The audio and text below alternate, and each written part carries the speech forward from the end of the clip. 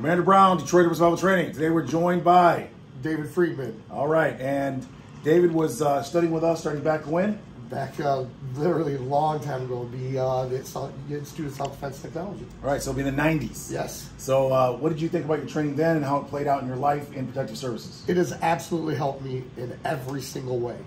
It has been the hallmark of what I do and how I take and, and maintain myself.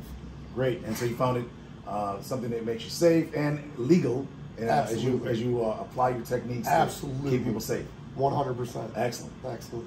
River Survival Training is training that's been proven for the past 27 years to keep people alive and safe. Absolutely. Intelligent options increase survivability.